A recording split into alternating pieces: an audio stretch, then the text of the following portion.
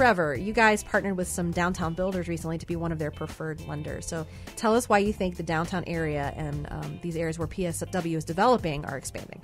So, like I said before, San Antonio is my backyard. I grew up here.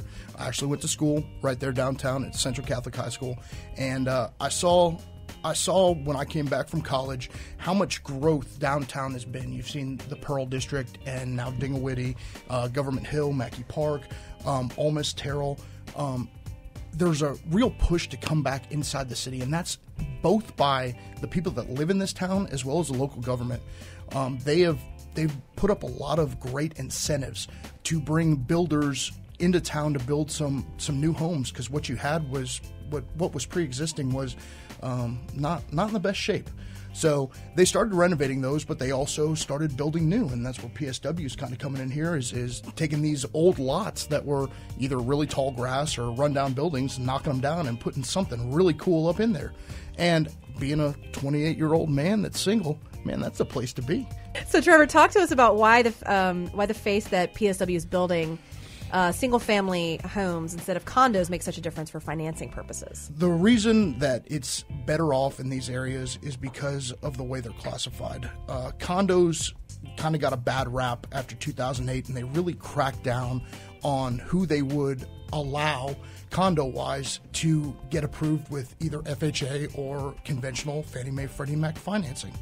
So PSW's product doesn't fall under any of those rules. And what those rules are is you have to have a certain amount of occupancy um, before it can get insured. So if it's not insured, a lender's not going to lend um, on that property because they don't know if their assets backed up.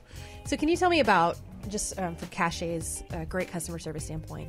What is like a great do you have a success story that kind of comes to your head? We've got a real good one actually. Uh, we had we had a gentleman a younger family um, that were looking to buy their first home and they had they had some some issues to start out with and and uh, credit wise and money wise and everything like that really didn't know how to navigate through the process because it is it's scary when it's your first time um, i see it every day and it's still kind of scary um, so we were able to we were able to number one help them clean up their credit. We were able to tell them where they needed to be, um, income wise and payment wise, and and where to get where to get their life at to be able to afford a home.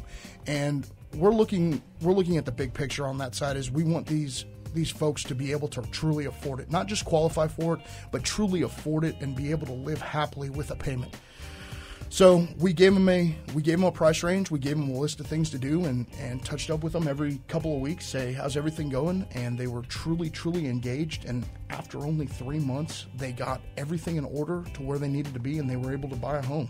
Um, and that's that's neat because I actually see this gentleman quite often. He he's a server at one of the local restaurants, and and just being able to see him and know that we got him into the home is, is awesome.